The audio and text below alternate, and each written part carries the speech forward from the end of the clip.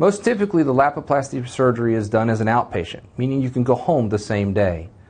Our typical patient would undergo a nerve block, which is a type of anesthesia that numbs you from about the knee down.